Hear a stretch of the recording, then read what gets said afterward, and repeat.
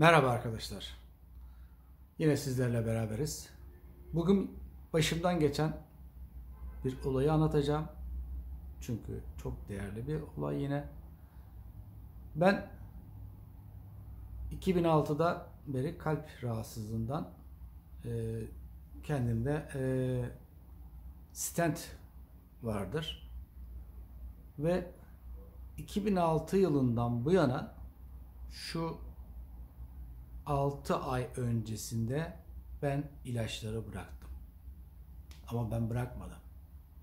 Doktorum dedi ki sen artık kalp ilacı kullanmana gerek yok dedi. Benim için tabii çok büyük bir zafer bu. Biliyorsunuz ben araştırmacı bir kişiyim. Etrafımda her ne olursa olsun ondan bir şeyler almaya çalışan bir kişiyim. Değerli kardeşlerim, şimdi sıkı durun. Sadece sadece başımdan geçen olayı anlatacağım sizlere. Ben bunu sizlere yapın demiyorum. Çünkü yapın dediğim zaman birilerin karnı ağrıyor. Ben doktor değilim. Ben sadece başımdan geçen olayı anlatmakla mükellefim. Ben bir şey yapmışım ve bundan güzel bir sonuç almışım. Ben de bunu size duyuruyorum. Eğer bu duyuru suçsa demek ki bu ülkede demokrasi yok demektir. Konuşma hürriyeti yok demektir. Birileri beni bir yere şikayet ediyor da o yüzden söylüyorum. Ben güzel bir şeyi sizlere duyurmak neresi kötü? Anlatıyorum size. Neresi kötü olabilir? Şimdi ben 6 ay önce kalp ilacını bırakmışım. Bir tedaviden dolayı. Bu tedaviyi ben herkese duyurmak istiyorum. Niçin duyurmayayım? Birilerin karnı ağrıyor. Ya duyurma diyor. Bu insanlar ilaçlara mahkum olsun. Bu kadar lanet insanlar var. Yine kızdım. Kusura bakmayın. Geçenlerde Vertigo'dan milyonlarca insanı iyileştir, iyileşmiş benim videoma bakaraktan sen diyor suç işliyorsun diyor. Ya ben başımdan geçen olayı anlatmışım ya. O kadar insan 1 milyon, 1,5 milyona yakın insan iyileşmiş. Sen suç işliyorsun diyor. Demek ki insanları ilaca mahkum etmek lazım. Ya ben tamam doktor değilim. Başımdan geçene olayı anlatmışım. Ya bunun neresi suç ya? Şimdi sizlere suç işliyor, işleyeceksem yine suç işliyorum. Çünkü, çünkü çok değerli bir bilgi aktaracağım. Yapıp yapmamak size kalmış. Ben bunu yapın dersem suç işlemiş olabilirim belki bilmiyorum. Ama ben sadece anlatacağım. Bakın değerli kardeşlerim. Geçen yıl bir e, değerli bir komşu bana geldi. Ailesiyle beraber gezmeye geldiler. Bu kalpten çıktı anlatma olayı. Hastalıktan çıktı. Bana Mustafa dedi, ben de dedi kalp rahatsızlığı vardı. Hatta ben dedi kalp rahatsızlığı vardı. Tansiyon vardı. Damar tıkanıklığı vardı. Prostat vardı. Bakın. İnanın bu dört tane hastalığı olan bir kişi o gün bana anlattıkları benim hayatımı değiştirdi. Niçin benim bu anlattıklarım da sizlerin hayatını değiştirmesin? Öyle bir kötü niyetli insanlar var bu dünyada. Diyorlar ki aman ha anlatma. O insanlar ilaçlara mahkum kalsınlar. iyileşemesinler. Yazık ya. Bu, bu kadar kötü niyetli insanlar var Türkiye'mizde, milletimizde ya. Ya vicdanına koy ya. Bu adam iyileşmiş mi? Bu, bu kişi başından geçen olayı anlatmış mı? Ya bırak. İsteyen yapar, istemeyen yapmaz. Ben kimseye ilaç ilaç yazmıyorum. Kimseye ilaç için şu ilacı için demiyorum ya. Çok moralim de bozuk bu videomda. Çok özür dileyerekten e, sizlerden tekrar tekrar özür diliyorum yani. Kusura bakmayın. Evet kardeşlerim. Bana o komşum Mustafa'cığım dedi ben bundan kurtuldum. Siz, madem ki sen de kalp ilacı içiyorsun anlatayım da dedi sen de dedi hiç olmazsa dedi bundan kurtul dedi. Ben dedi doktor bana bıraktırdı dedi. Dört ilacı, prostat ilacımı, damar tıkanıklığı ilacımı, tansiyon ilacımı, kalp ilacımı dedi doktor bıraktı. Hiçbir amare kalmamış. Bırakabilirsin diye. Doktor onu öyle söylemiş. Değerli kardeşim şimdi tedaviye geçelim. Kusura bakmayın yine. Çok moralim bozuk olduğundan. Tekrar tekrar özür diliyorum. Bana dedi ki Mustafa'cığım dedi 40 tane yok affedersin 30 dedi o. Ben 40 yaptım da ondan aklımda 40 kaldı. 30 tane sarımsak dişi ama iri dişlerden bahsediyoruz. 30 tane de limon. Limonları güzelmecik sıkıyorsunuz kardeşlerim. Güzelmecik limonu sıkın.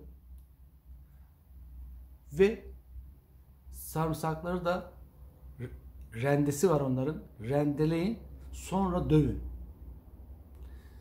Sarımsak ne kadar ince olursa o kadar daha e, içimi de rahat oluyor. E, ağzına dek gelmiyor. Hani incelsin. Mümkün olduğunca incelsin. Değerli kardeşlerim sarımsağı koyduk. Limonu da sıktık. Bunları limonun içine sarımsakları koyduk. Değerli kardeşlerim arkadaşta ilaveten ben midemde de biraz e, rahatsızlığım vardı. Çok iyi biliyorum ki kudret narı mide rahatsızlıklarına panzehir olduğunu biliyorum. Bir de kudret narının çekirdeğini sakın koymayın. Kudret çekirdeği zehirli olduğunu söylerler. Ama dış aksamı alın. Güzel bir ama sarılanmış, ermiş olsun. Blender'dan güzelce geçirin. Hamur haline gelsin. Eğer onu da içine koyun. Etti 3 madde değil mi? Bunun üzerine şişe 3 litrelik şişeye dek geliyor. Ben saplı böyle 3 şişelik 3 kiloluk bir şişe almıştım. Onun içine koyun. Buna 1 santim veya 1,5 santime yakın da gerçek zeytinyağı koyacaksınız üstlerine. Şimdi zeytinyağı neden koyduğumu da söylersem e, yine o arkadaş onu koymamış. Yine ben onu koydum. Bu da benim kendi tecrübeme yine şey. Şimdi zeytinyağı koyduğun zaman orada e, her gün onu karıştıracağız zaten. Orada bir e, bozulmayı önlüyor. Tıpkı konserve gibi. Altı onun konserve gibi kalıyor. Yağ koruyucudur. Bakın unutmayın. Yağ hep üste çıkar ve sürekli alt takını hava ile teması keser. Bu yüzden ben kendim bunu düşünerekten üzerine bir de yağ tabakası koydum. Ama o arkadaş da içtikten sonra yağ içiyormuş. O yağı niçin içiyorum dedi. Midemi korusun diye. Ben biraz daha oradan da esinlendim. Kendi tecrübemden de esinlendim ve yağı da koydum. Ve ben bunu 10 gün, 11 gün hatta 11 evet 11 gün her sabah onu bir çalkaladım. Mayalanmasını bekledim. 11 gün birlikte bekledikten sonra ben bunu 11. günde sabahında sabah kahvaltısından sabah kahvaltısından yarım saat önce içtim. Sabah kahvaltısından yarım saat önce içtim. İçtiğin zaman haliyle mideni yakıyor. Gerçekten böyle bir hani şeyler oluyor içeride. Savaş başlıyor. Bu yarım saat içinde zaten mide onu sindirime geçiriyor. Yani Bağırsaklara indiriyor aşağı. Ondan sonra kahvaltınızı yapabilirsiniz. Ben bunu aynı arkadaşın dediği gibi yaptım ama arkadaş bana şunu söyledi. Bu kısım dedi aman ha aman çok dikkatli olun. Bunu bir ay içeceksin, bir ay içmeyeceksin. Yani bir yıl içeceksin ama bir yıl içinde 6 ay içmiş olacaksın, 6 ay içmemiş olacaksın. Anlaşıldı, anlaşıldı herhalde. Bunu niçin yaptın dediğim zaman arkadaşa Mustafa'cığım dedi bu madde dedi damarlardaki yağ tabakasını dedi hamur gibi yapıyor, eritiyor dedi. Erittiğinden dolayı dedi bu yumuşamış olan damarlardaki yağ tabakalarını, pıhtıyı o bir ay içinde yok etme zamanı. Sen sürekli içersen çabuk fazla erimiş olan bir pıhtıyı nereye götürsün vücut? O yüzden bunun en etkili, en güzel yolu bu. Çünkü devamlı içersen çabuk iyileşin dersen damarlarını daha kötü olabilir dedi. Ben de onun dediğini yaptım. Bir ay içtim, bir ay içmedim. Bakın arkadaşlar o midemdeki ağrılar uçtu gitti. Hani o kudret narını içtim ya. Ben bundan yaklaşık 6 ay önce ben e, Egepol diye bir hastane, özel hastanemiz var şurada yakında. Ona gittim. Orada bir güzel bir doktorumuz var. Devamlı ben ona kontrol ederdim kendimi. Ultrasonumu çeker. Yani ben paramla rezil, e, rezil olacağıma vezir olurum daha iyi diyerekten e, sıra beklemek istemiyorum. Daha iyi tetkik olmamız için hiç olmazsa doktora bir soru sorabiliriz. Biliyorsunuz normal e, hastanelerde doktorlara soru sormak bazılarına diyorum tabii ki zor. Burada bir arkadaş gibi istediğin gibi konuşabiliyorsun haliyle. Bu yüzden derdimi anlatabileyim diye parama acımadım. Ve özele gittim. Hep devamlı özele gittim. Velhasılı zaten özele gidip de 90 lira para veriyorsun. Ee, daha önce 75'ti. Ne oldu şimdi? Beni ultrasondan geçirdi. Kalbimi dinledi. Her şeyini, bütün tetkikleri yaptı. Mustafa Bey dedi, siz dedi bu aydan itibaren dedi kalp ilaçlarını bırakın dedi. Doğru mu söylüyorsun dedim doktorum. Evet dedi doğru söylüyorum. İnanın ben 6 ay önce kalp ilacını bıraktım. Bu tedaviden dolayı. Bakın ben sadece başımdan geçen olayı anlatıyorum. Ben şu anda 6 aydır kalp ilacı kullanmıyorum. Kalp ilacı kullanmıyorum. Ama dedi e, şunu tavsiye ederim dedi. E, işte ismini yine vermeyeceğim o ilaçların. Bunlar dedi sağlam insanların bile içtiği aspirin, koraspirin mesela. E, bunu dedi iç dedi. Yani bunun bir zararı yok. İç bunu kullan. E, buna de, de, devam et dedi yani. Seni anlayacağım. Yanında bir ilaç daha var. O da yine böyle e, hani şey takviye gibi bir şey yani. Onun ismini vermiyorum. Velhasılı iki ilaçla kaldık kalp olayından. Hani asıl kalp ilacı ritim bozukluğu, damar açıcılığı bilmem ne onları hepsini bıraktırdı bana. Kroner hastasıyım aynı zamanda ama artık kroner değiliz herhalde demek ki doktorumuza göre.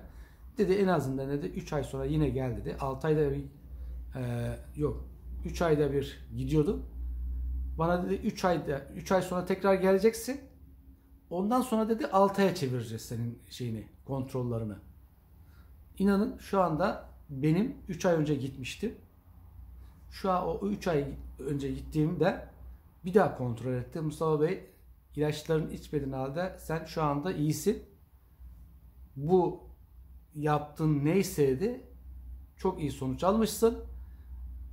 Ee, orası beni ilgilendirmez dedi. Sen şu anda iyisin dedi. Ve ben şu anda ilaçları bırakmış olarak karşınızdayım. Ben bu bir tecrübe. Başımdan geçen bir tecrübeli iyi sonuç aldığım bir tecrübem. Evet şu anda e, ben her 3 ayda gideceğime 6 ayda gideceğim.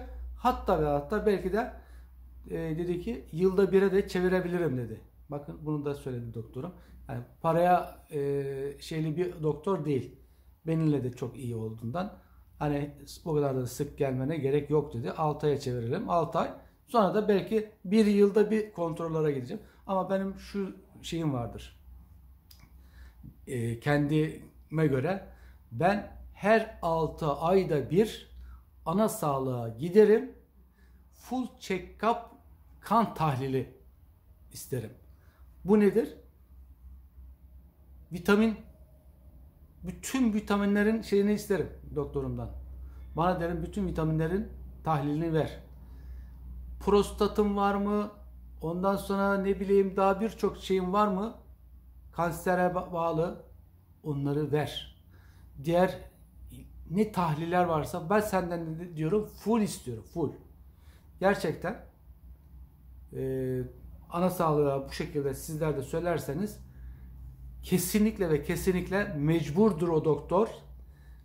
6 ayda bir ben ya da yılda bir sefer ben full check-up kan tahlili istiyorum diyeceksiniz. Yapmak zorunda, yapmazsa suç, suçlu olur. Bunu size söyleyeyim. O yüzden her Türk vatandaşın böyle kan tahlili alma hakkı var. Doktor söylemese bile ben nasılyım, benim şu anki durum nasıl diyerekten alabilirsiniz. O yüzden isteyin doktorunuzdan, çekinmeyin. Aile doktorunuzdan bahsediyorum. Ana sağlık doktorunuzdan söylüyorum. Kan tahlili verdiğiniz zaman orada ne olur? 2-3 gün sonra tahlilleriniz gider, gelir. O tahlili siz alıyorsunuz oradan. Doktor sana işte şunlar şunlar şunlar eksik veya da bu hiçbir şeyiniz yok gibi size e, direktif verecektir. Aynı zamanda o çıktığı da mutlaka alın. Eğer ki tahlillerinizde bir anormallik varsa zaten o sizin doktorunuz sizi hastaneye yönlendirecektir. Ama diyelim ki sizler kendiniz de 6 ayda bir veya da belirli aralıklarla e, dışarıdaki doktorlara gidiyorsanız o tahlille birlikte gidin. Tekrardan bir özel hastanede tahlil yapması gerekmemiş olacak. O tahlille beraber gittiğiniz zaman o özel hastane içeride bir de işte tahlildir vesaire başka bilmem ne için sizden e, para almamış olacak bir de. O da avantajı olacak. Hem de günün sabahtan işi bitirmiş olacaksın. Neden? Tahlil versen e, öğleden sonra kalacak. Ne oluyor? Tahlille beraber gidersen aynı anda doktor görecek. Tamam bu resmi de kuruluştan alınmış bir tahlil diyerekten e, şeye koyacak onu. E, göz önüne koyacak ve bu şekilde tahlil yaptırın kendinizi 6 ayda bir ya da yılda bir sefer en az. Değerli kardeşlerim, ben sadece başımdan geçen olayı anlattım. Bu benim başımdan geçmiş ve komşumun başından geçmiş bir tecrübeyi anlattım sadece. Yapıp yapmamak size kalmış. Bana işte şunu yapayım mı bunu yapayım mı diye sormayın. Çünkü her şeyi anlattım. Ne gereği varsa. Yalnız şunu e, unuttum anlatmaya. Ee, bir filcan. Sabah bir filcan. Bunu ben alta da yazacağım unuttum diyerekten videomun altına. Bir filcan e, küçük filcanlarla içiyorsunuz yemekten önce. Değerli kardeşlerim bugünlük bu kadar. E, abone olursanız çok memnun oluyorum. Abone sayım çoğaldıkça böyle bir çalışma hevesim geliyor. Paylaşın. Bu bilgiyi herkes duysun. Yani bu bilgiyi herkes duyarsa ben sizlere bunu nasıl duyurmaya çalışıyorum, bir emek veriyorum. Başkalarına da siz bir emek, küçük bir tıklamayla, paylaşmakla ne olur? Başkasına da duyurmuş olursunuz. Çok güzel bir olay olur. Beğenme de benim için çok önemli biliyorsunuz. Beğenirsiniz de çok memnun olurum. Hoşçakalın. Allah'a emanet olun arkadaşlar.